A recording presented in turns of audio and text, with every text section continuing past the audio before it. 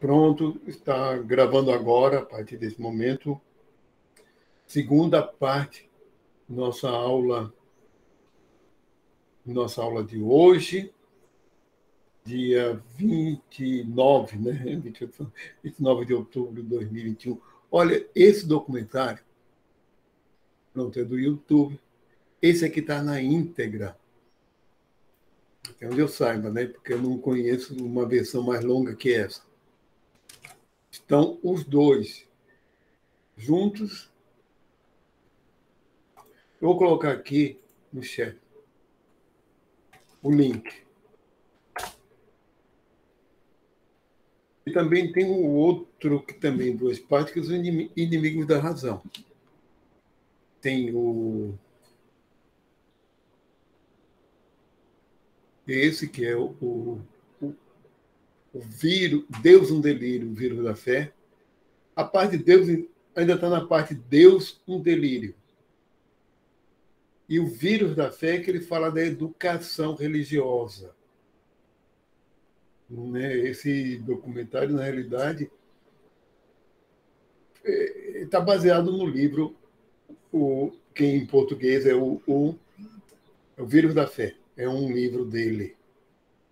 Certo? E, e o Outros Inimigos da Razão não, não, é, não é baseado em nenhum específico, nenhum livro específico dele. Os inimigos da razão são as pseudociências, né? Ele fala das pseudociências. Olha, são documentários produzidos para o grande público. Quando, em 1970, não sei qual foi o ano, mas em 77, ele lançou o livro O Gênio Egoísta, Logo depois disso, criaram, fizeram um documentário baseado na, no livro. E ele foi descoberto, digamos assim, como apresentador. Certo? Ele, se, é, ele tem um monte de livros de divulgação. Depois eu falo em todos eles, assim, com os livros de divulgação, por enquanto estou montando só esses documentários, são documentários para o grande público. A argumentação dele uh, a favor do ateísmo é a que, a, aquela que vocês já conhecem. E é lógico que é muito mais baseada num, num sistema de crenças. Olha, por exemplo, ele diz no livro O Vírus da Fé, certo?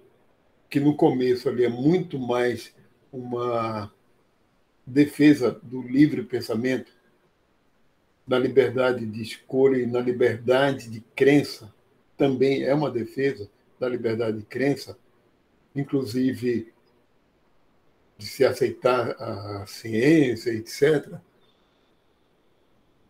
Ele, ele diz que, do mesmo jeito que a pessoa tem o direito de ter, de ter fé cristã, etc., ele pode ter o direito de ser ateu. Também ele defende esse direito de ser ateu e ser aceito por isso. Porque é complicado o ateísmo. Nos Estados Unidos, por exemplo, se a pessoa se declara como ateu, nos Estados Unidos, ele não consegue ser eleito, por exemplo. Então, ele dá esse, esse exemplo de que, que a pessoa tem, tem o direito de serem, de terem ateísmo. E a argumentação dele também é a questão.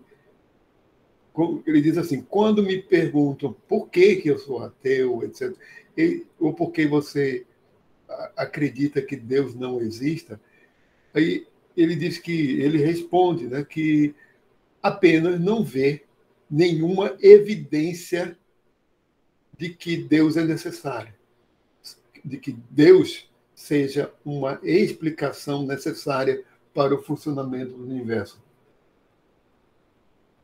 Que é algo muito parecido com, com outros, como José Saramago, que era ateu e argumentava dessa forma.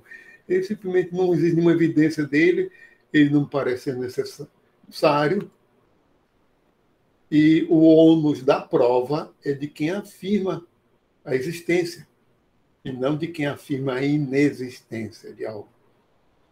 É, não se prova a inexistência, a gente tem que provar a existência. Certo? E isso, como me diz, a vida parece ter surgido mesmo ao acaso, e a evolução também é um fruto de, das leis e forças da natureza, do mesmo jeito que o universo. Até agora, não há nenhuma evidência da existência de um Criador ou coisa assim. E por isso mesmo ele prefere acreditar que não exista. E ele nem, há, nem é agnóstico mesmo. E ele até argumenta assim, no livro o, o, Deus, um delírio.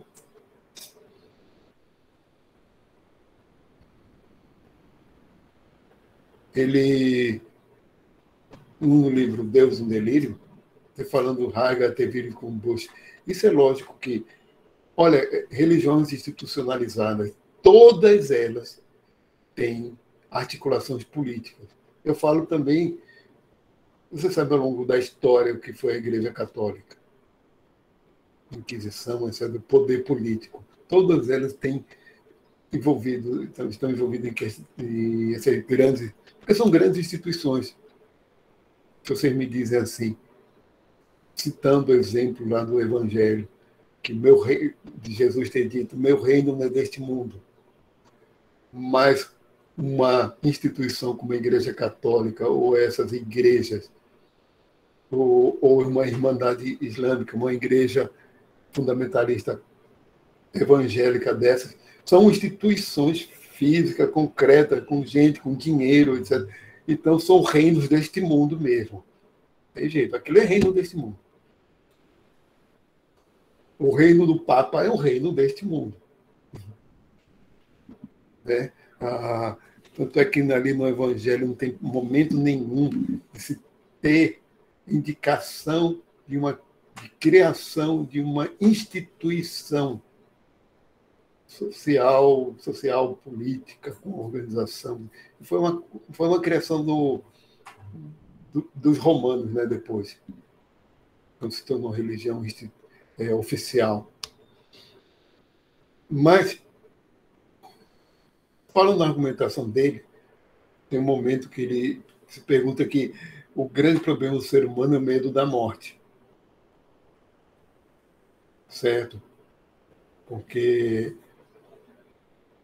é um consolo ao medo da morte acreditar na imortalidade da alma ou do espírito, do, do que quer que seja.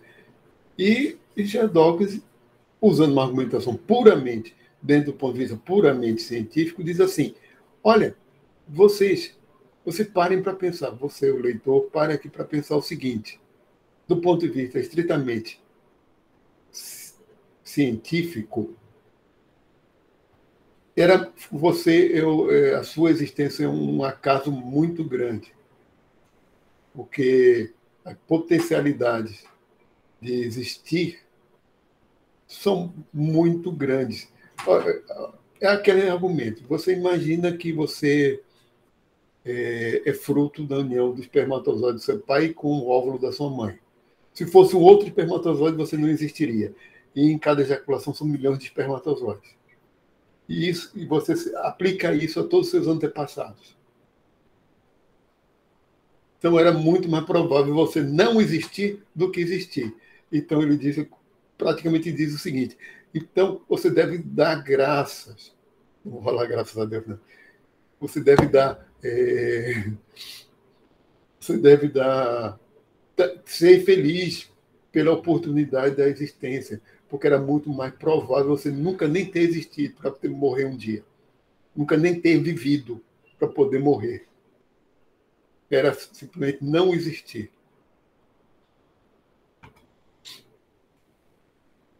Eu vou continuar agora o documentário, viu? Eu vou continuar. É o nosso tempo é bom começar agora para pelo menos terminar esse, certo? Vou aqui, está gravando.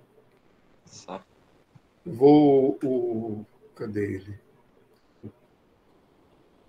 Porque falta.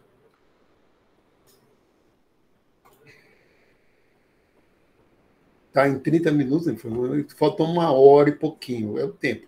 Eu paro para ver te fazer retorno, para ver te fazer um comentário, certo?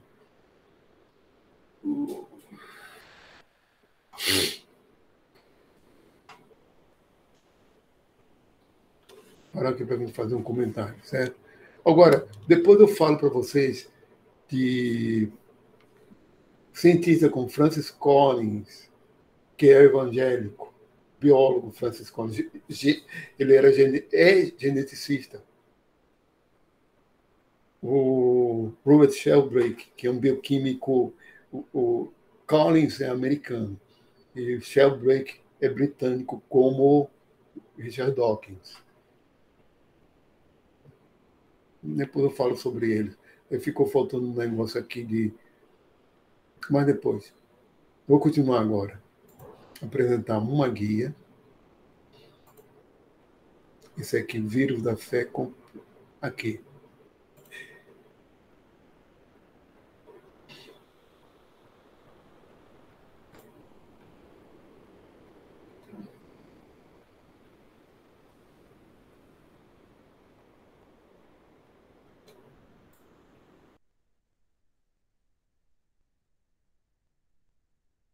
Mirror image of Islamic extremism, an American Taliban,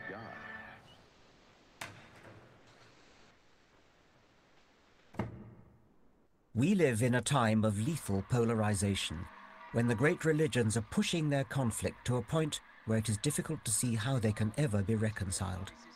In New York, Madrid and London, we've witnessed the religious insanities of the Middle East penetrate the heart of the secular West.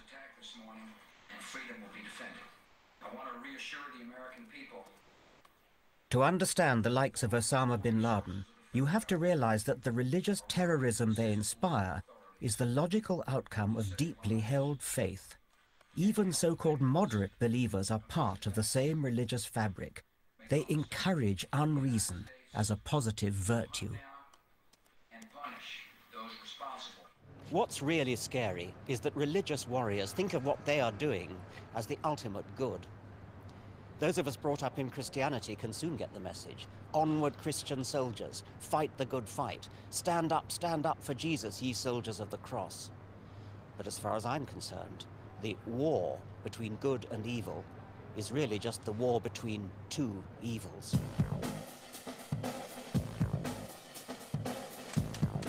This is the Holy Land, where the terrible certainties of faith began and still rage.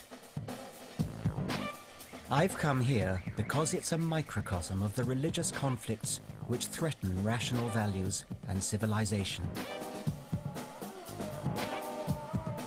The dreadful combination of politics and extreme faith has caused the death of almost 4,000 people here in shootings, suicide bombings and reprisals in the last five years.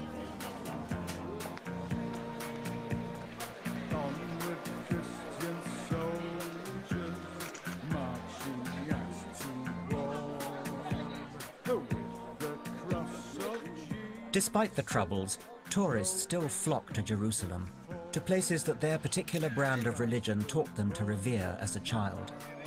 The Via Dolorosa, where Jesus was allegedly whipped and beaten during the last hours of his life. Or the Muslim Dome of the Rock. Or the Western Wall, Judaism's and the world's most holy ruin.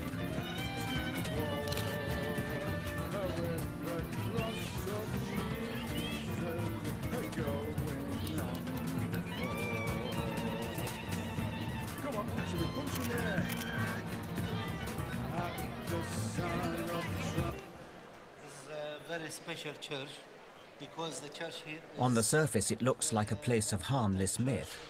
Because here is the hill of Calvary, where Jesus was crucified, and the tomb of Jesus. Here, what we are facing to the stone of anointment, where the body of Jesus was taken down from the cross. So this is the slab where Christ's body was anointed with oil. How do we know that? Is there any evidence that it was here? You see, this is by telling from person to person. It's, tra it's tradition. Traditional yes. from generation to the next. Yeah. We can see the hole where the cross was stood, where they're putting the cross inside the hole, and this is the place where the place of the crucifixion and where Jesus died on the cross. You, you don't really believe that, do you? Uh, this is the Christians, I explained to you that they believe this is the place where the crucifixion took place. And if we come closer to here to my side, please, thank you. Uh, guard of the tomb is the Greek priest, the fool regarding the tomb of Jesus. This is left from the big part of the stone which closed the tomb. What we call it the rolling or angels. Watch your head, please. Thank you very much. Please. This is where he is laid and rose from death. We call it sepulchre, means empty tomb. God bless you. You can touching the tomb. You can make your prayer.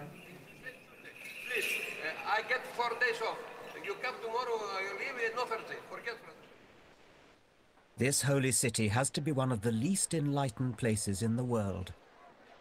And it is also a place of barely suppressed religious hatreds. There will come the day, and that day is now, when you're on our lands spreading these ideas that the soldiers of Allah will not put up with this.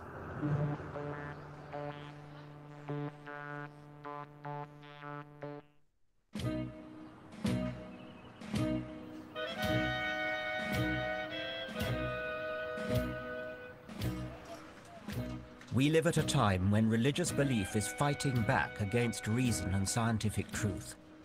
This is a problem for all of us, because religion's irrational roots nourish intolerance to the point of murder. I'm in Jerusalem's old city, trying to understand the role deeply held faith plays in the bitter conflict here. One of the first things you notice is the edgy watchfulness. The different ethnic and religious communities live cheek by jowl, but there are security checkpoints throughout the old city, and one section, above all, is under heavy guard. For the Muslims, the compound enclosing the Dome of the Rock and El Aqsa Mosque is, after Mecca and Medina, the third holiest site in Islam. It was from here, they believe, that the Prophet Muhammad flew up to heaven. As bad luck would have it, the Jews believe the same place is the site of the long destroyed First and Second Temples, the holiest shrine in Judaism.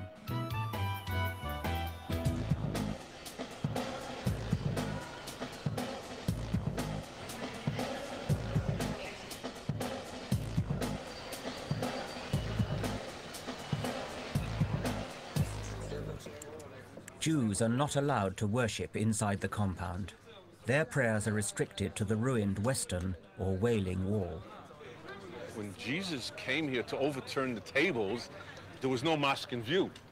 When the Arabs conquered this part of the world, they established the El Aqsa Mosque, and then they put over where we think is the main temple compound, where the altar was, where the Holy of Holies was, they put another building called the Dome of the Rock, which is not properly a mosque. And um, we, at the present moment, are simply not allowed in there, inside the compound, identifiably as Jews. The Muslims reject these Jewish claims. And when Ariel Sharon entered the Temple Mount area in the year 2000, I came here with a message of peace. his visit sparked the second, or Al Aqsa, Intifada, a Palestinian uprising that has cost 4,000 lives so far. وإذا أراد اليهود السلام مع العرب والمسلمين وفلسطين فليبتعدوا عن المسجد الأقصى المبارك And if the Jews sincerely want peace with the Arabs and the Muslims, then they should stand away, keep away from the Al-Aqsa Mosque. In the Muslim religion, there is no possibility, anyway, of sharing the territory. If I come in there in some far corner, far away from a mosque, in an open area under a tree somewhere, if a Muslim will catch me murmuring psalms or some other prayer, he will call the police to have me um, egressed, shall I say. As far as the Al-Aqsa Mosque is considered, there are no negotiations, absolutely no negotiation about it. لأنه لا يملك أحد من المسلمين في العالم أن يتفاوض على الأقصى Because no Muslim has the right worldwide to uh, negotiate over the Al-Aqsa Mosque.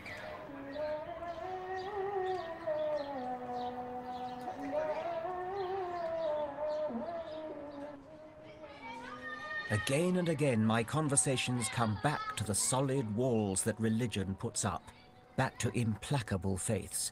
My holy book is true, I am right, he is wrong. So I went to meet someone who, in my naivety, I thought might be able to see both sides of the story. Yusuf al-Khattab used to be called Joseph Cohen, born and brought up as a secular Jew in New York. In 1998, he moved to Gaza as a Jewish settler. But there he discovered a different God, Allah. Compare. Good to see you. What I noticed coming to this center of world religions, what a lot of hatred religion fosters. I mean, I'm an atheist and I, I'm rather gentle. I don't, I don't hate people, but it seems to me that I'm hearing hate on all sides, and it mm-hmm. seems to me all to do with religion. I hate atheists because atheists don't care if somebody fornicates in the middle of the street. They don't care if they're women go bouncing around on TV topless. It makes no difference to them. They don't believe anything. If you don't believe in a set rule and you believe that a constitution can change and you can amend the rules as they go along and you don't believe in God's rule, then what law do you have? You just have man-made laws. I realized I was in the company of someone who has willingly bought into fundamentalist dogma. Religion is the basis of morality. What do you think about the um, September the 11th attacks on New York and the um, July the 7th attacks But, in s- London? okay, since you like to speak about evolution, I like to start before. What do you think about the Jews that have destroyed over 417 Arab villages, including all mosques and masjids, which wouldn't affect you because you're an atheist? So what are you saying, that we should sit back and say, oh, you know what, let us progress and let us sit down and drink tea and talk about what to do? I think that's the most ridiculous thing. All I could say is, if there was no quote-unquote state of Israel, there would have been no September 11. But if we've all got to live together, it's not going to be helped if there are people of very, very strong faith who simply know they're right and are not amenable to argument. Because there's somebody out there who's just as faithful as you and has his faith just as strong as yours, which is opposite to yours. You see, the problem is, Richard, I think that you have fear. You know that this party of occupying Muslim lands and polluting society with these evil ideas that are around, it's not going to last forever. There will always be the soldiers of Allah there to give the, the response to this. So we also want the same thing. All we want is that we want the non-Muslims at this point off the lands of Muhammad sallallahu alaihi wasallam. All the lands of Muhammad, we want the kuffar out of it. Do you want Islam to take over the rest of the world? Of course I want it to, and it will. So my advice is to clean up your show at home, take your forces off our lands, correct yourselves, fix your society, all right? Fix your women. Uh, fix your women. That's not my business. That's my women's business. No, They're it's not no, my it is women. your business. It is your business. When you take the women and dress them like whores on the street. I don't dress women. They dress themselves. Do, no, but you allow it as a norm to let the women go on the street dressed like this. What's going on with your society? But I'm interested in religion and the effect that it has on people's minds, and I'm worried about And it. we're very worried about you. What's going on with the stealing, with the theft? It's out of control. Clearly, historic injustice towards the Palestinians breeds hatred and anger. But we must face up to the fact that in creating the death cults of suicide bombers, it's unshakable, unreasonable conviction in your own righteous faith that is the key.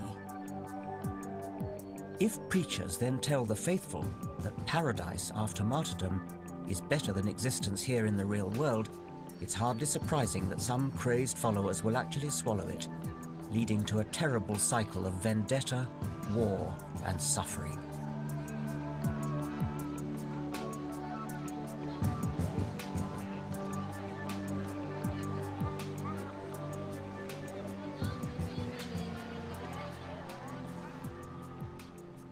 Well, I'm here on the Mount of Olives, looking out over this beautiful old city. we've heard some pretty extreme statements, some hatred, some bigotry, such as I haven't really heard before. I don't see what future the world has as long as people think like that, and people are going to go on thinking like that, as long as they're brought up from childhood, from the cradle, to think that there's something good about faith, to think that there's something good about believing because you've been told to believe rather than believing because you've looked at the evidence. I want to say that killing for God is not only hideous murder, it is also utterly ridiculous. Unlike religion, science doesn't pretend to know everything. There are still deep questions about the origins of the universe that have yet to be explained. But just because science can't answer them right now doesn't mean faith, tradition, revelation, or an ancient holy text can. Science can't disprove the existence of God, but that does not mean that God exists. There are a million things we can't disprove. The philosopher Bertrand Russell had an analogy. Imagine there's a china teapot in orbit around the sun. You cannot disprove the existence of the teapot because it's too small to be spotted by our telescopes. Nobody but a lunatic would say, well, I'm prepared to believe in the teapot because I can't disprove it. Maybe we have to be technically and strictly agnostic, but in practice we are all teapot atheists. But now suppose that everybody in the society, the teachers, the tribal elders, all had faith in the teapot. Stories of the teapot have been handed down for generations. It's part of the tradition of the society. There are holy books about the teapot. Then somebody who said they did not believe in the teapot might be regarded as eccentric or even mad. There's an infinite number of things like celestial teapots that we can't disprove. There are fairies. There are unicorns. Hobgoblins. We can't disprove any of those, but we don't believe in them any more than nowadays we believe in Thor, Amun-Ra, or Aphrodite. We are all atheists about most of the gods that societies have ever believed in. Some of us just go one god further.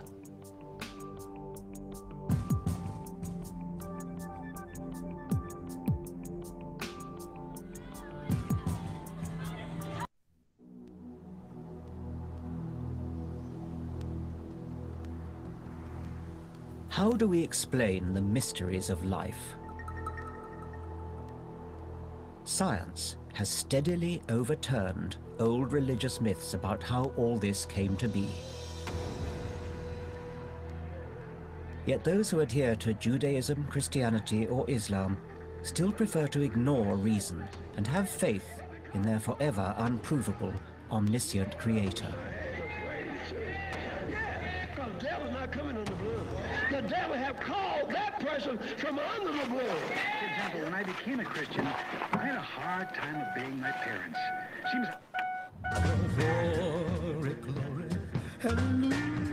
I had thought science was rolling back religious belief, but I was wrong. Far from being beaten, militant faith is on the march all across the world, with terrifying consequences.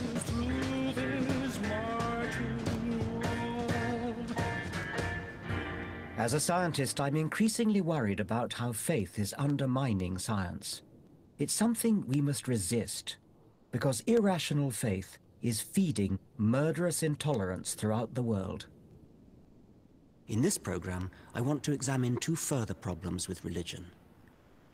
I believe it can lead to a warped and inflexible morality, and I'm very concerned about the religious indoctrination of children. I want to show how faith acts like a virus that attacks the young and infects generation after generation. I believe in a, a, a lawgiver, a God right, right there, actually not behind it, right immanent here, right now. I want to ask whether ancient mythology should be taught as truth in schools. Professor Dawkins, I'm very impressed that you're the new Messiah. And I appreciate your, your, your desire to redeem the world. It's time to question the abuse of childhood innocence with superstitious ideas of hellfire and damnation. I would rather for them to understand that hell is a place that they absolutely do not want to go. This one would have been a preacher. Now they'll never hear his voice. And I want to show how the scriptural roots of the Judeo-Christian moral edifice are cruel and brutish. Thou shalt save alive nothing that breatheth, but thou shalt utterly destroy them. What in the 21st century are we doing, venerating a book that contains such stuff? Science weighs up evidence and advances. Religion is hidebound belief for belief's sake. It's bad for our children, and it's bad for you.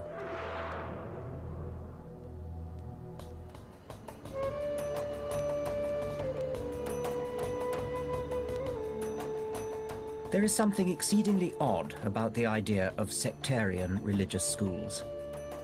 If we hadn't got used to it over the centuries, we'd find it downright bizarre.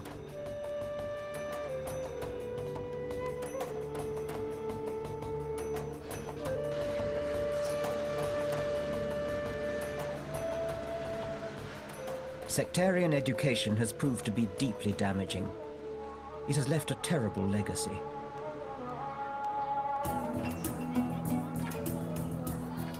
When you think about it, isn't it weird the way we automatically label a tiny child with its parents' religion?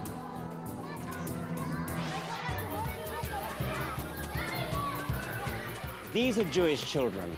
In another part of Jerusalem, we've seen Muslim children. In Northern Ireland, we have Catholic children, Protestant children, all going to separate schools. But what's so special about religion that it is allowed to label small children Catholic or Protestant, Jewish or Muslim? Nobody would categorize children by the political party their parents support, call them Tory or Labour children. We agree they're too young to know where they stand on questions of politics. So why is it not the same for where they stand on the cosmos and humanity's place in it? In genetic evolution, a species divides into two, initially geographically. There's some initial separation between the two subspecies, and they divide away from each other genetically. There's no longer gene flow between them, and so they can become separate species. It's a divisive force. Sectarian education acts in a similar way. Children are initially isolated from each other because of their parents' faith. Then their differences are constantly drilled into them, and they embark on opposing life trajectories. Such divisions are encouraged, not just in faraway Israel, but right on our doorstep, in Northern Ireland, for instance, or in London. In North London, the Hasidic Jewish community is the largest after Israel and New York. Here, religious division is taken to its extreme. These ultra-Orthodox Jews only marry within their sect. Television is frowned upon, and of course children attend exclusive religious schools, cloistered away from external influences, which just might persuade them to look outside their community. I want to find out why these children are being segregated, and whether their culture allows them to open their minds to reality. Hello? Hello. Rabbi Gluck. Nice to meet you. I'm Richard Dawkins. How do you do? Thanks, but fine. Nice to meet you. Please come in. Good, thank you very much. Rabbi Gluck is London born and bred, but you wouldn't necessarily know it. His accent is a testament to the isolation of this religious sect. Why should children be victims of the particular tradition in which they happen to have been born, rather than choosing for themselves by being shown all the evidence that's available? We are all, to a certain extent, uh, affected by our surroundings. Um, there's no such thing as a person living in a vacuum. Indeed. We're all affected by our parents, by our family. Yes. But at the same time, we have a choice to stay or otherwise. I think it's important for a minority to be able to have a space where it can express itself, where it can learn about itself. Well, couldn't you preserve the, the customs, the traditions, the history without somehow imposing upon the children views about the universe which modern science would say are simply false? I would say impose upon a Jew anything. Uh, I would say that's something which is impossible. I think scientifically impossible. We believe that God created the world in six days. We know about evolution. Every single Jewish kid knows about evolution and, and has thought about it and has studied it and has looked at it and has thought, what's going on here? How many of the children who come up through your system, your school system, end up believing in evolution? I, I think that the, the, the majority don't believe in evolution. They, but at the same time, it isn't they don't believe because they don't know about it. You realize they're being taught that the entire world began after what archaeologists would recognize as the agricultural revolution. Um, I mean, these children are being brought up in a very distorted world indeed. I worry about children being victims of this kind of what I can only describe as miseducation. I find uh, the terms as distorted and miseducation rather disturbing. Judaism has its tradition. I think uh, there are various uh, scientists who have their tradition. It's still called the theory of evolution. Well, it's called that, but that's in it's a very not called, technical sense. yeah, but, but still, but still, it's called that, and it's not called the law of evolution. Well, I will call it the fact of evolution. Uh, and But you're, you're, you're a fundamentalist believer No, I'm it. not a fundamentalist believer. The age of the Earth, 5,000 years. I mean, that is, I'm sorry, Rabbi, that is ridiculous. Of course, Rabbi Gluck is right that it's important for us to learn about our own background. But what upsets me is that in pursuit of that, these innocent children are being saddled with demonstrable falsehoods. And this is not just a problem of the Jewish minority. There's pressure from an increasing number of faith schools of other religions to put scientific fact on a par with primitive creation myths.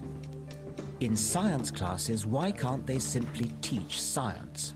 You say this is truth because it's based on evidence. That's well, such a no, funny you don't answer. exactly say that. You say we're struggling towards the truth, and as new evidence comes in, we refine it. And in the and middle of that, better. Jesus says, I am truth.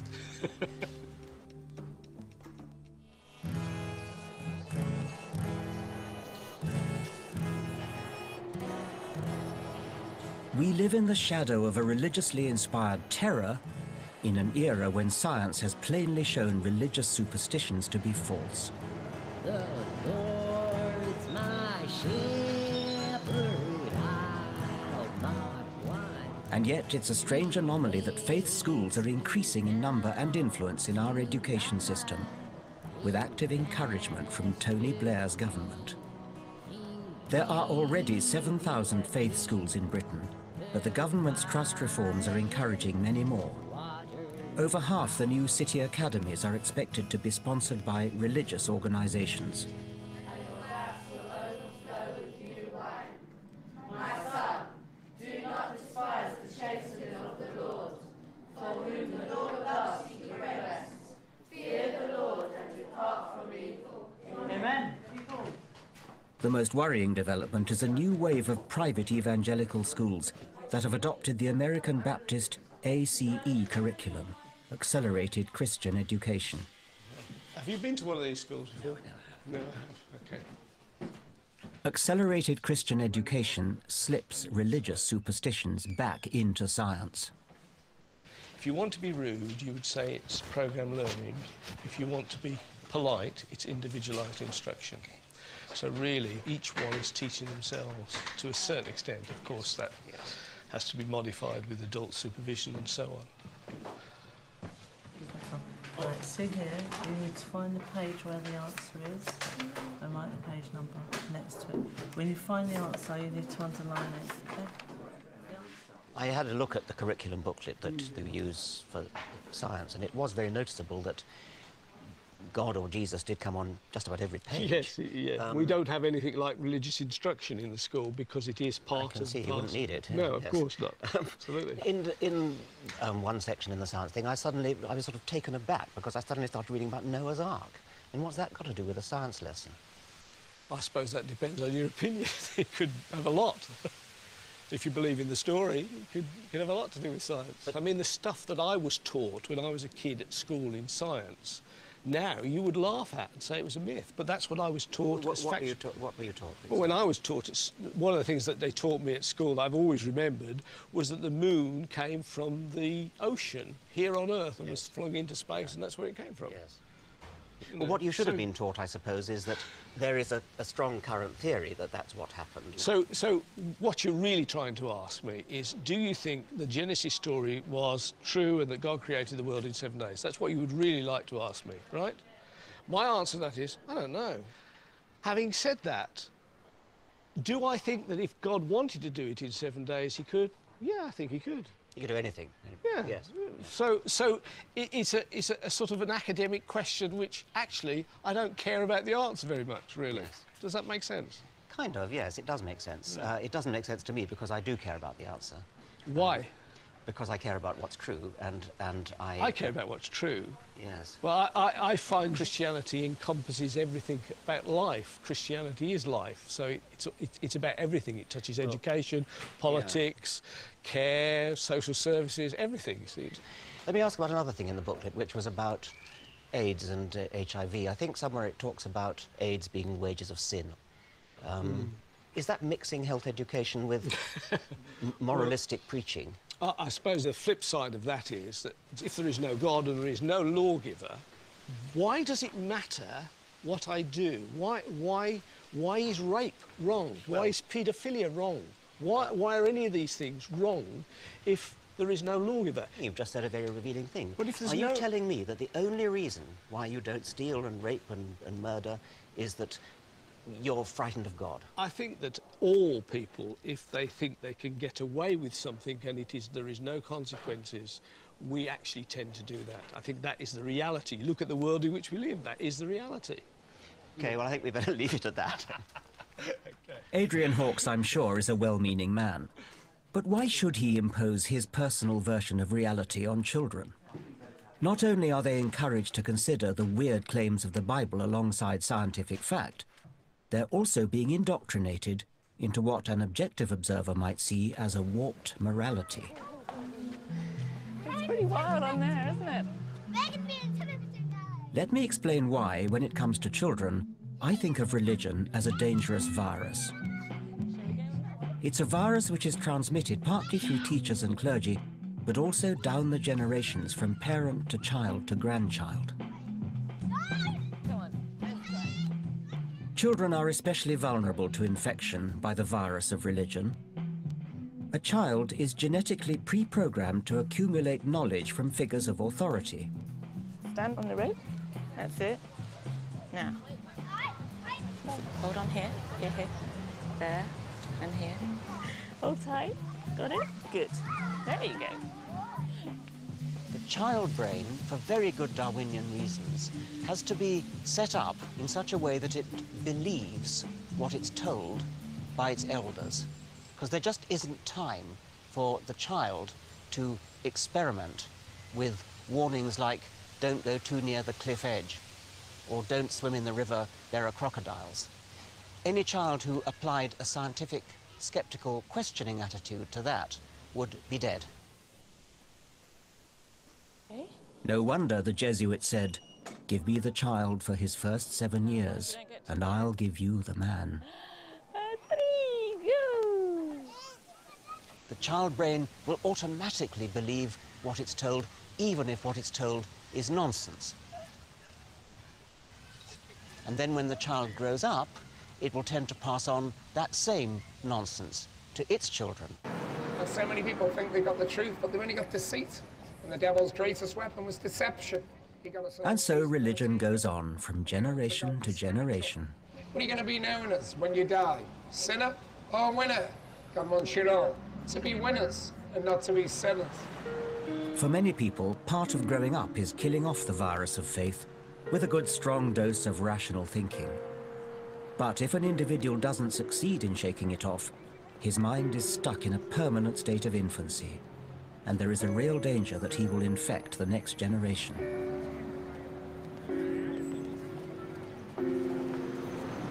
I'm going to meet someone who has experienced religion as child abuse firsthand. Jill Mytton. Oh, hello. I'm Richard Dawkins. Hello, How do you Richard. do? Jill Mytton was brought up in a strict Christian sect. Today, she's a psychologist who rehabilitates young adults similarly scarred by their narrow religious upbringing.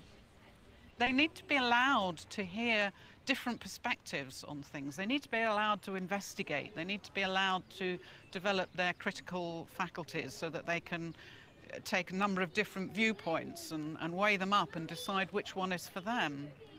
They need to find their own pathways, not, not be forced into a particular mould as a child. If I think back to my childhood, it's one that's kind of dominated by fear. Um, and it was a fear of disapproval while in the present, but also of eternal damnation. Do they get taught about hellfire and things like that? Absolutely. And to a child, images of hellfire and gnashing of teeth are actually very real. They're not metaphorical at all. Of course not. No. If you bring a child up and discourage it from thinking freely and making choices freely, then that's that's that's still, to me, that is a, that is a, a form of mental abuse or psychological abuse. Or if you tell a child that when it dies, it's going to roast forever in, In hell, that is abusive. Yes. What do they tell you about it? I mean, what, what, what happens in hell? It's strange, isn't it? After all this time, it still has the power to affect me when, when, you, when you ask me that question. Hell is a fearful place. It's complete rejection by God. It's complete judgment. There is real fire. There is real torment, real torture. And it goes on forever. So there is no respite from it.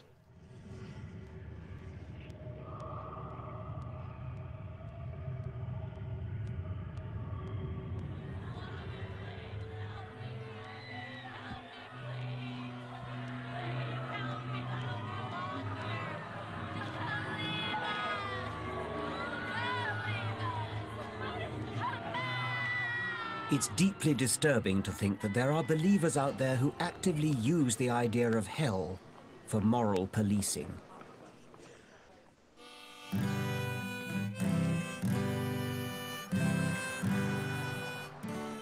In the United States, Christian obsession with sin has spawned a national craze for hell houses, morality plays come Halloween freak shows, in which the evangelical hobby horses of abortion and homosexuality are literally demonized.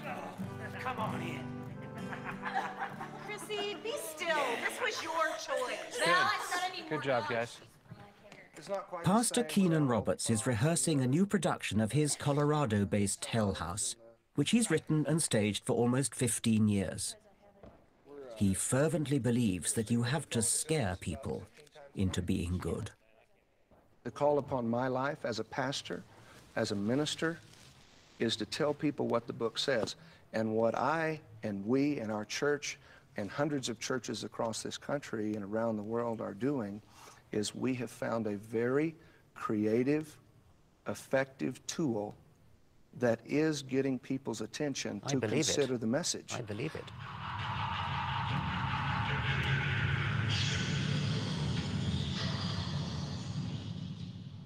We want to leave an indelible impression upon their life that sin destroys.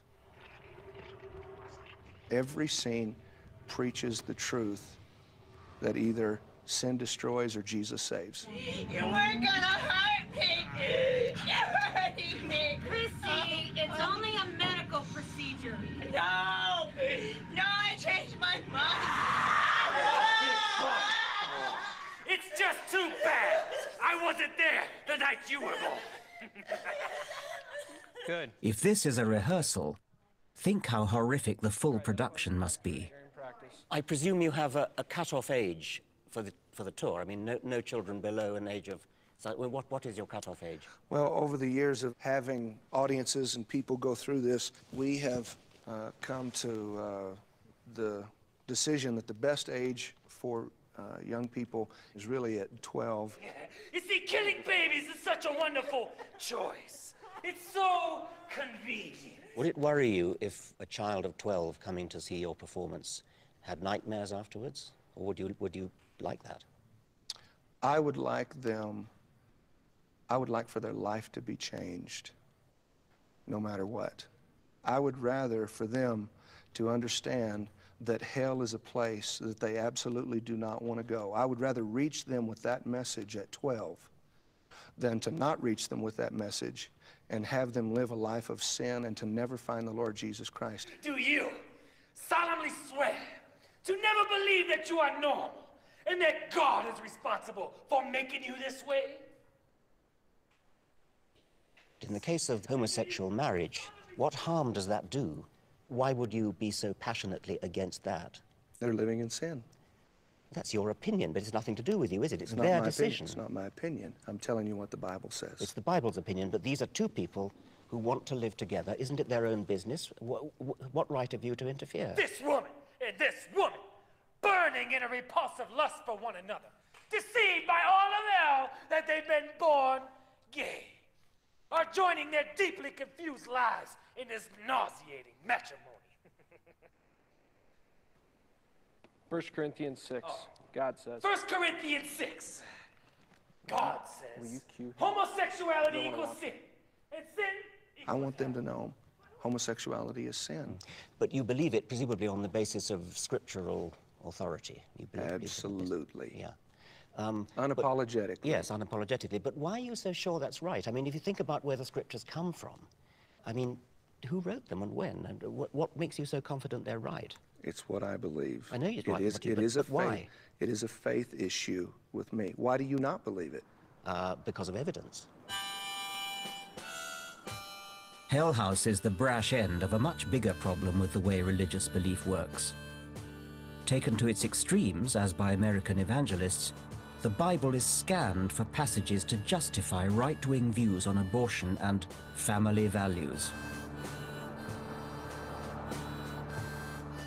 I'm about to meet a believer who uses the Word of God to fight against centuries of human progress. I think execution for adultery is not uh, rejected. Not rejected by whom? By you? No, by, by the New Testament What writers. about you? Do you, do you favor execution of adultery? I think that's fair to say that that's still a, uh, a proper uh, punishment uh, that the state ought to prosecute.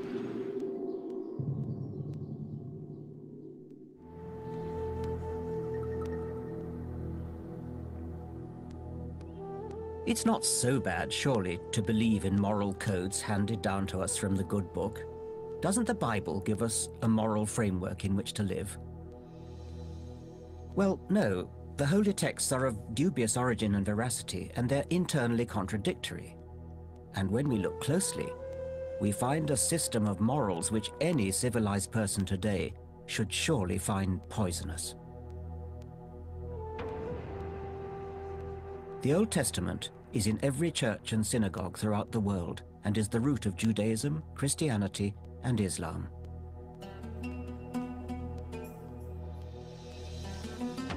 If your brother, the son of your father or of your mother, or your son or daughter, or the spouse whom you embrace, tries to secretly seduce you, saying, Let us go and serve other gods, This is God's advice on what to do to a friend or family member who suggests you believe in another deity.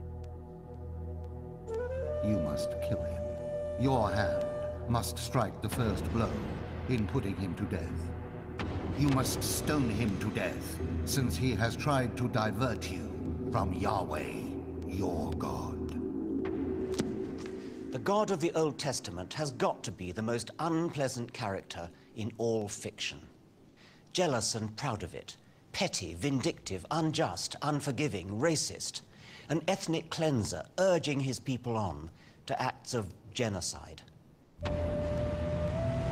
If God doesn't set a good moral example, who does? Abraham? the founding father of all three great monotheistic religions, the man who would willingly make a burnt offering of his son Isaac? Maybe not. How about Moses, he of the tablets which said, Thou shalt not kill? Well, the same man, it says in the book of Numbers, was incensed by the Israelites' merciful restraint towards the conquered Midianite people. He gave orders to kill all male prisoners and older women. But all the women children that have not known a man by lying with him, keep alive, alive for yourselves. How is this story of Moses morally distinguishable from Hitler's rape of Poland or Saddam Hussein's massacre of the Kurds and the Marsh Arabs? So let's leave Moses out of it. But there are lesser characters facing somewhat more everyday moral dilemmas. Maybe they provide a better role model. In the book of Judges, a priest was traveling with his wife in Gibeah. They spent the night in the house of an old man. But during supper, a mob came to demand that the host hand over his male guest. So that we may know him. Yes, in the biblical sense. Well, the old man replied, Nay, my brethren, nay, I pray you, do not so wickedly. Behold, here is my daughter a maiden, and his concubine. Them I will bring out now, and humble ye them, and do with them what seemeth good unto you. But unto this man do not so vile a thing. So, enjoy yourselves by raping and humiliating my daughter, but show a proper respect for my guest, who is, after all, male. Whatever else this strange story might mean, it surely tells us something about the status of women in this religious society. Now, of course, nice Christians will be protesting. Everyone knows the Old Testament is deeply unpleasant. The New Testament of Jesus, they claim, undoes the damage and makes it all right. Yes, there's no doubt that from a moral point of view, Jesus is a huge improvement. Because Jesus, or whoever wrote his lines, was not content to derive his ethics from the scriptures with which he'd been brought up. But then, it all goes wrong. The heart of New Testament theology, invented after Jesus' death, is St. Paul's nasty sadomasochistic doctrine of atonement for original sin. The idea is that God had himself incarnated as a man, Jesus, in order that he should be hideously tortured and executed to redeem all our sins. Not just the original sin of Adam and Eve, future sins as well, whether we decide to commit them or not.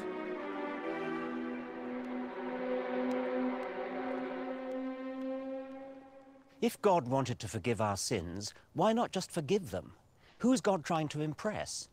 Presumably himself, since he is judge and jury, as well as execution victim. To cap it all, according to scientific views of prehistory, Adam, the supposed perpetrator of the original sin, never existed in the first place. An awkward fact, which undermines the premise of Paul's whole tortuously nasty theory. Oh, but of course, the story of Adam and Eve was only ever symbolic, wasn't it? Symbolic? So Jesus had himself tortured and executed for a symbolic sin by a non-existent individual. Nobody not brought up in the faith could reach any verdict other than barking mad.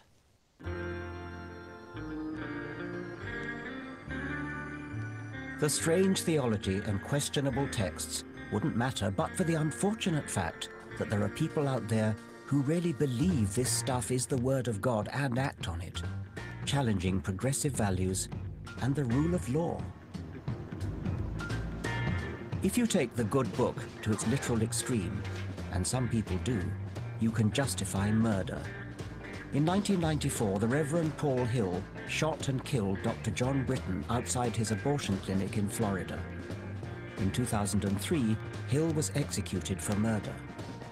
But he went to his death claiming his actions were backed by Holy Scripture. I'm going to meet Paul Hill's friend and defender, the Reverend Michael Bray. Mr. Bray? Yes, sir. Hello. Hello. I'm Richard Dawkins. Good to meet you, sir. Michael Bray. On what moral basis can he, as a Christian, defend a self-professed cold-blooded killer? Your friend Paul Hill, who was convicted of murdering a doctor, he took the law into his own hands, didn't he? No. Um, Paul Hill, by his own testimony, acted defensively, uh, not uh, in retribution. That's the job of the law. The job is to, the job of the law is to is to punish. The job of citizens is to is indeed out of love to protect one another. Does it ever occur to you that that doctor had a wife to grieve for him and Paul Hill killed him? Now, the embryos that Paul Hill was defending, they were tiny little things without any knowledge, without any memory, without any fears, without all the things that a full-grown adult doctor had. Mm-hmm. Doesn't that give your conscience a little bit of a twinge? Well, I, I don't think we measure the, the value of someone by their their their cognizance of, of their surroundings or their or even their relationships. Uh, the value that we give human beings historically and thankfully from the scriptures is that they are created in God's image and they are they have a certain sanctity because of that.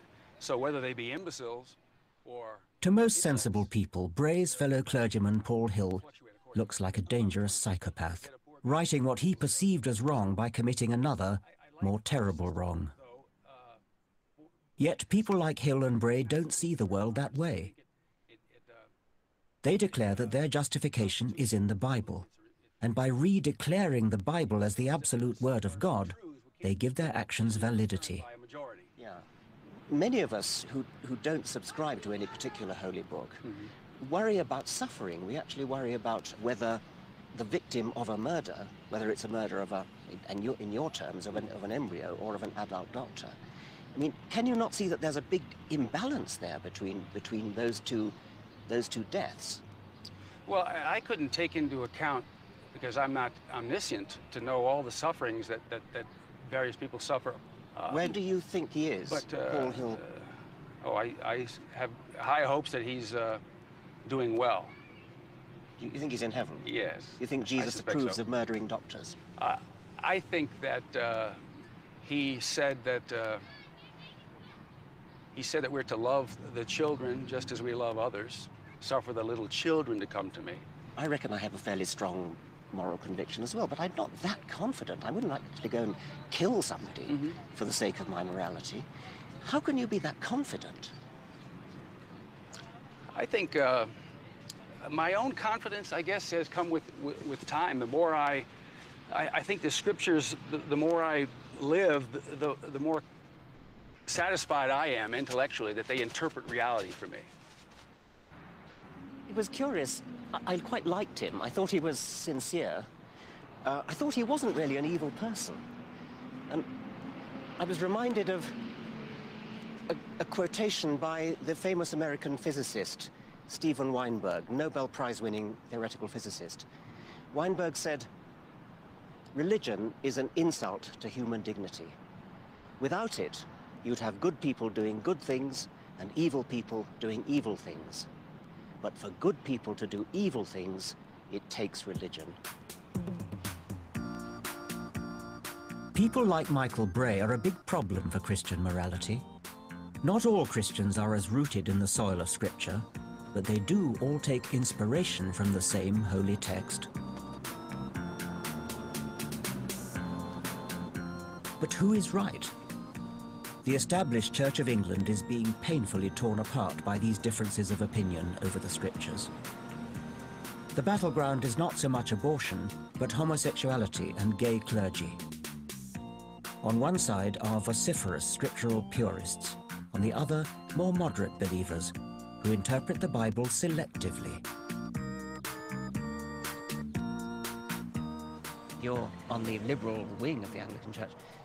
Maybe the other side are the ones who are being true to their scriptures in a way that you're not. I mean, you, who are liberal and much closer to what I would would think, are the one who's departing from the certainly from the scriptural and yeah. um, perhaps from the fundamentals. Um, Well, if you take the issue of homosexuality, there's no doubt about it. There are a number of texts, not as many as people think, but a few texts, which clearly regard homosexuality as wrong, both uh, in the Old Testament very strongly, but they're also there in the New Testament. But of course, it's a question of, of how you interpret the Bible, whether it's really uh, right to, to just simply uh, with, extract a few isolated texts uh, rather than seeing the whole message of the Bible, the whole message of, of Jesus. But I think there's another, perhaps even more fundamental one, which links in uh, to your fundamental interest in evolution. Our understanding of what it is to be a gay or lesbian now is very, very different from what it was, let us say, in the Roman world when the New Testament's written. They thought it was purely a matter of choice. We now actually know that a significant percentage of people are predominantly attracted to members of their own sex. So it's a question of the changing facts as, as well as uh, a changing understanding of how the Bible should be interpreted. This, of course, is all music to my ears, but I, I, am kind of left wondering why you stick with Christianity at all, therefore. And maybe some of the fundamentalists might, might say just that to you.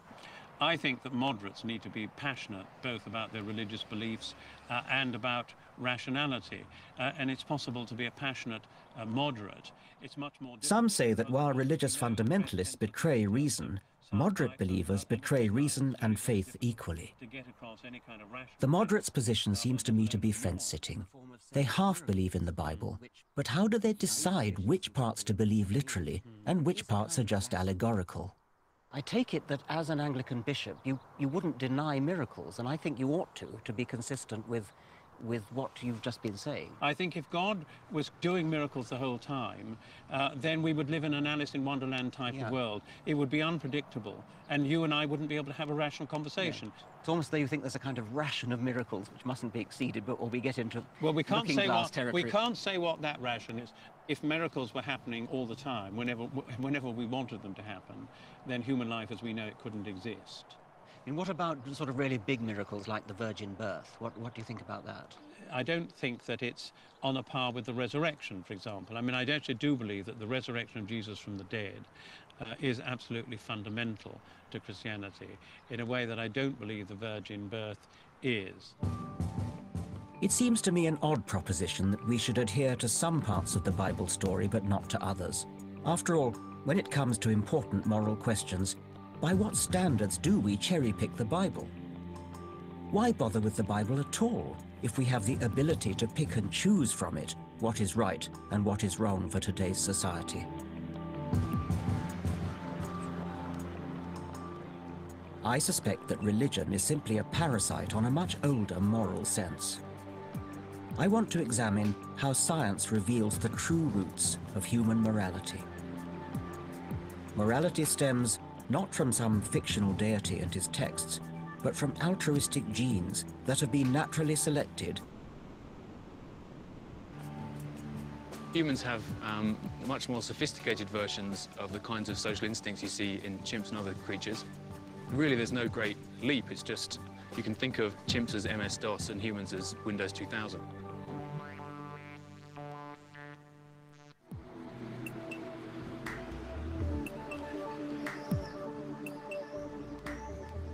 Religious believers like to claim that their God and ancient texts provide them with an inside track to defining what is good and what is bad. But it is surely far more moral to do good things for their own sake, rather than as a way of sucking up to God. Our true sense of right and wrong has nothing to do with religion. I believe there is kindness, charity, and generosity in human nature. And I think there is a Darwinian explanation for this. Through much of our prehistory, humans lived under conditions that favored altruistic genes. Gene survival depended on nurturing our family and on doing deals with our peers. The I'll scratch your back if you scratch mine principle. I don't think we need religion to explain morality, and if anything, it just gets in the way. Morality is a lot older than religion. Uh, humans have an, an innate moral sense or a range of moral senses that, are, that you can think of as sophisticated versions of the kind of social instincts you see in uh, chimps and other social species. What sort of morality or proto-morality would you expect to find in a chimpanzee troop? We find that they, they live in family groups. The, the mothers look after their, uh, their kids. They work, in, they work in teams. And also, chimps are particularly good um, at competing for status through what's been called public service. So they compete for status not just through brute force, but by being um, good leaders, by uh, intervening to uh, settle disputes. What are the main evolutionary reasons for cooperating and being altruistic? Working together often produces um, mutual benefits for, for those that are involved. So um, you can often just do better by working in a team than you can by working by yourself.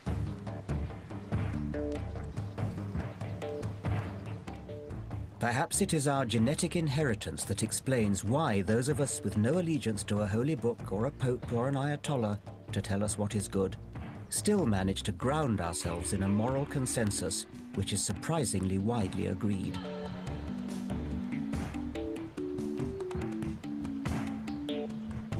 As social animals, we've worked out that we wouldn't want to live in a society where it was acceptable to rape, murder or steal.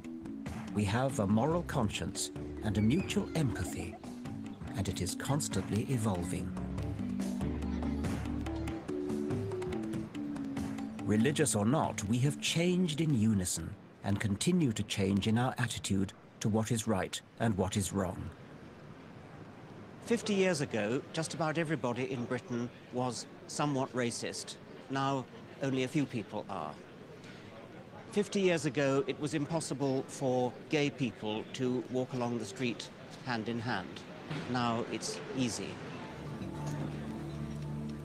Some of us lag behind the advancing wave of moral standards, and some of us are ahead. But all of us in the 21st century are ahead of our counterparts from the time of Abraham, Mohammed, or St. Paul.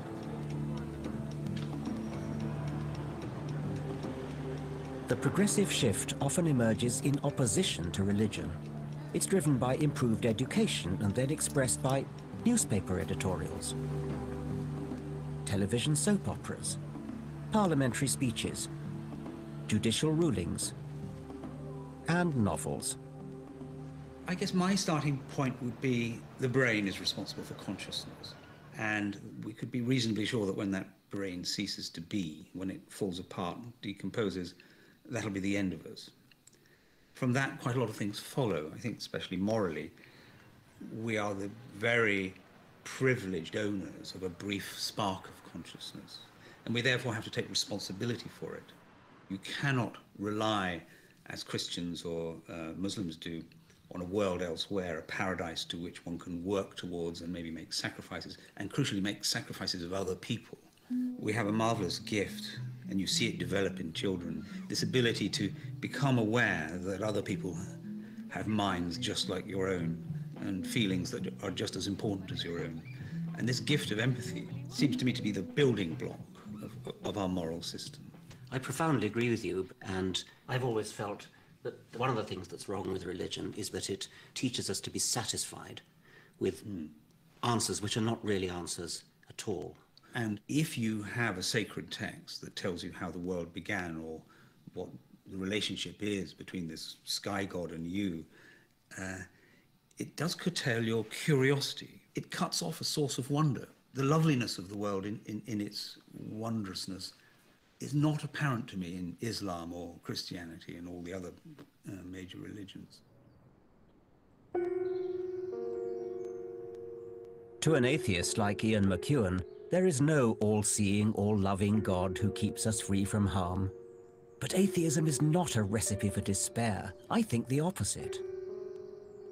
By disclaiming the idea of a next life, we can take more excitement in this one. The here and now is not something to be endured before eternal bliss or damnation. The here and now is all we have, an inspiration to make the most of it.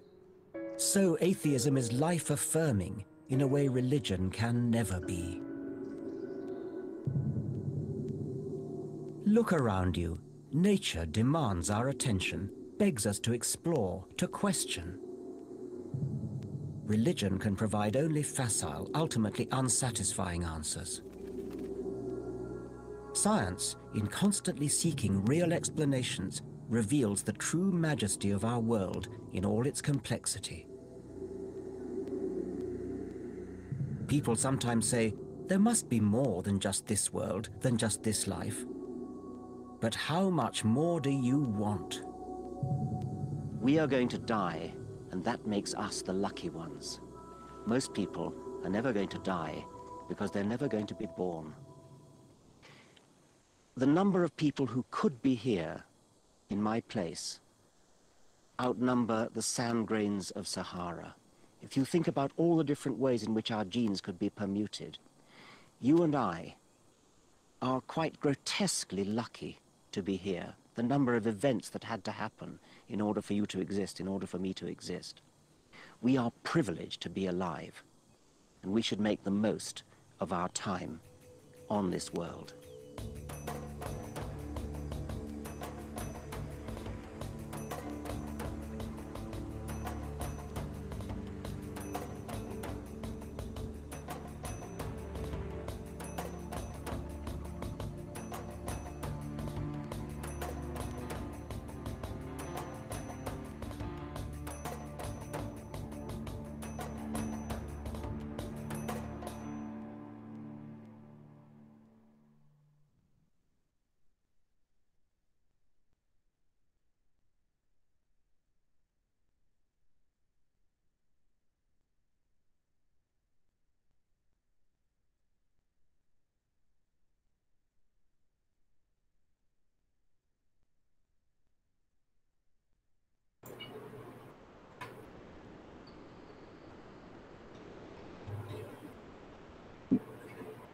Oi, pessoal.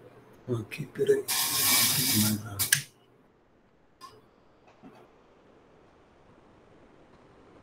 É, é, é o seguinte, é lógico que o, eu não vou falar agora de certo posicionamento dele, porque eu também não vou defender aqui religião, coisa religiosa, como por exemplo que que tem algumas coisas que não é função da ciência, que religião vai onde a ciência não consegue ir. É, agora, religião também, como você, Daniel falando assim, o Rabino dizendo que até tem cinco mil, também religião não pode se meter em dar explicações sobre a natureza, porque eles não têm condições. A partir de textos sagrados, falar sobre questões da natureza, por tudo que aquilo, aquilo que a gente já falou, por tudo aquilo que a gente já falou, não há condições epistemológicas para um religioso dogmático falar sobre força da natureza, origem do universo, eles não têm condições para isso. A natureza é muito, mas muito mais grandiosa do que uma explicação mítica de, mil, de milhares de anos atrás, que foi criada milhares de anos, de anos atrás, dentro de um contexto, dentro de um contexto cultural, histórico, social, tribal quase, né? de tribos histórias de tribo é uma coisa. De considerar que aquilo, por ser sagrado, é, é explicação para tudo. É, olha, vem também vai ver aqueles exemplos da moral como algo de origem biológica. Nós vamos ver isso. Vamos ver autores que falam disso. Certo? Que falam disso, que essa, dessa, alguns pontos ali na última parte, esse argumento na última parte do documentário, da segunda parte do documentário, né? Teve ah, o vírus, que é o Deus um delírio, e depois o vírus da fé. E na, no, aquela argumentação que ele colocou ali no final, ele no livro dá no começo. E, de fato, o, o, assim, as ciências naturais têm a limitação do método naturalístico. Então, não, não poderia, talvez, verificar a existência, corroborar ou ter evidência da existência de Deus. Mas, porque talvez embarque no, no, nos limites. Mas é mais um exemplo, como é mais um exemplo de que ah, existe limitações nas formas de conhecer que têm que ser reconhecidas, certo? Tem que ser reconhecidas. E também, olha, por exemplo, quando se fala que teoria da evolução é só uma teoria, nada mais errado, porque não se entende o que é uma teoria científica, quem diz isso. Não entende o que é uma teoria científica. Uma teoria científica não é uma, só uma teoria. O, o, não entende o conceito da, do termo teoria para a ciência. Teoria da relatividade não é só uma teoria. Não, é como se dissesse né, que a teoria da relatividade seria só mais uma explicação sobre como é que é o, universo, só mais uma explicação e que seria equivalente a mitos, das mitologias. E, e, e, e a gente sabe que não. Vamos descambar, a gente acaba descambando para um relativismo cultural e que quanto mais explicações sobre o universo, melhor. Isso é um relativismo cultural. Olha, que gente da área de sociais, né, de antropologia, sociologia, tem um discurso, às vezes, que a gente pode chegar a essa conclusão que, ah, então quanto mais explicações, melhor, é dá mais riqueza cultural e, e por isso essas mitologias têm, a, têm o mesmo status cultural de uma explicação da, da astrofísica. Não é a mesma coisa, mesmo. Séculos de investigação experimental sobre a natureza, não vou dizer séculos de ciência, não, mas séculos de investigação experimental validada pela natureza, investigação da natureza é uma coisa. Uma criação puramente cultural é outra. Não, não...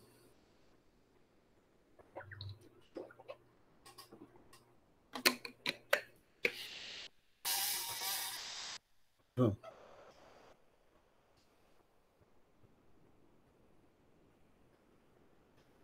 É, é.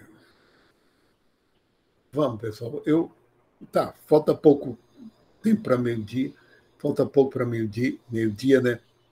Porque vocês talvez o, o, os inimigos da fé é um documentário que talvez seja mais criticável. Onde a gente pode criticar Richard Dawkins? Em que?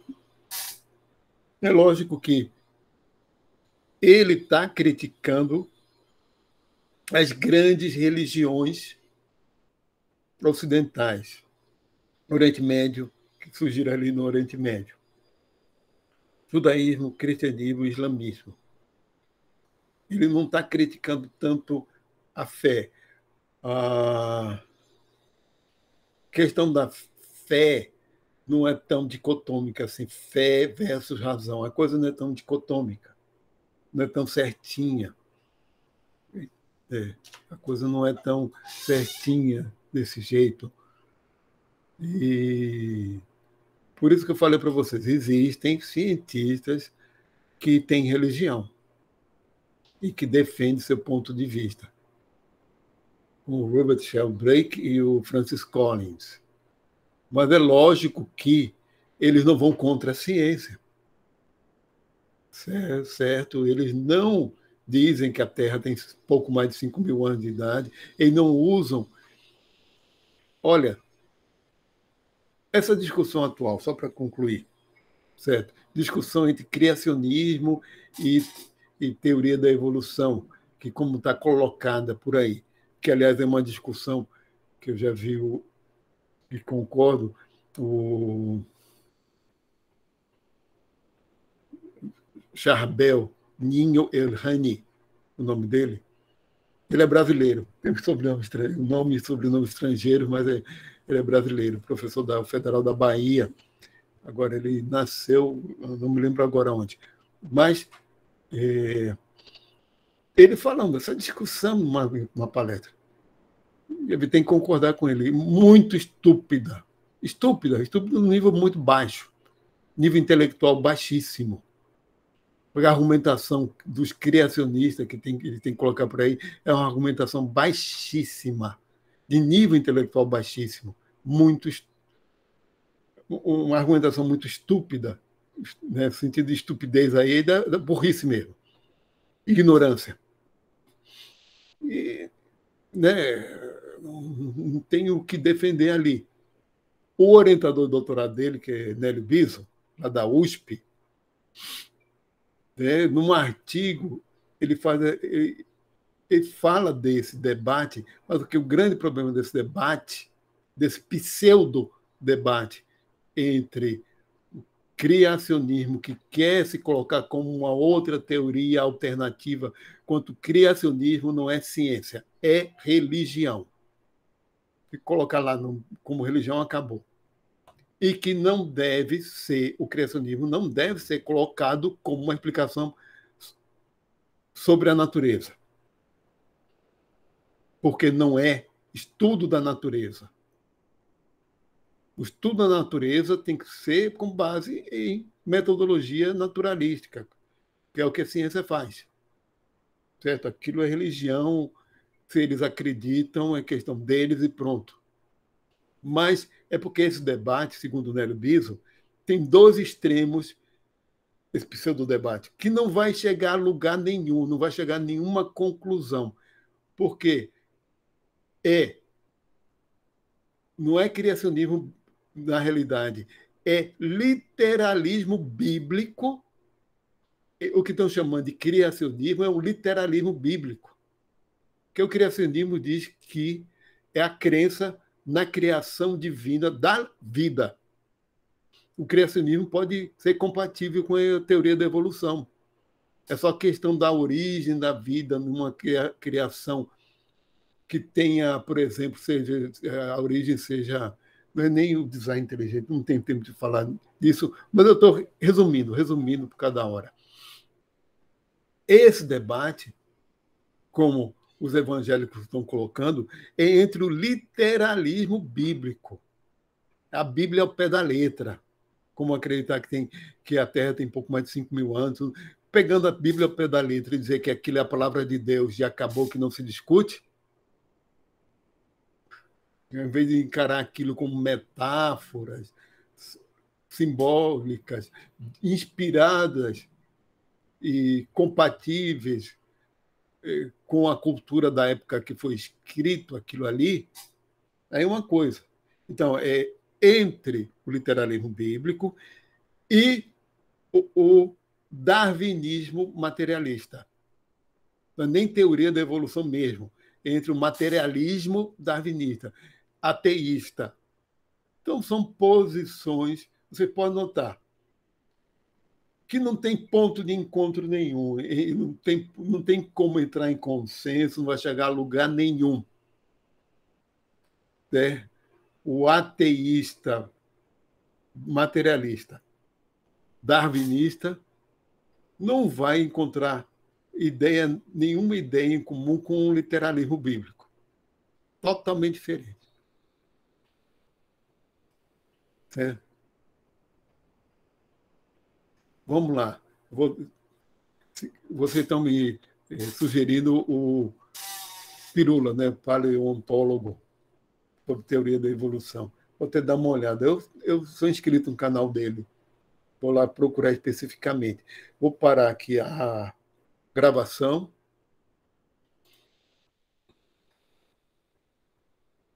interrompendo a gravação de hoje.